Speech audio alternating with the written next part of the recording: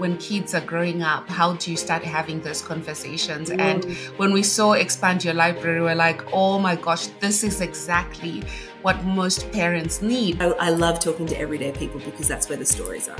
That's what makes up Australia. It's the everyday people, for sure. How do you manage that conversation? You know, when your child says, I'm different. Why am I different? I don't want to be different.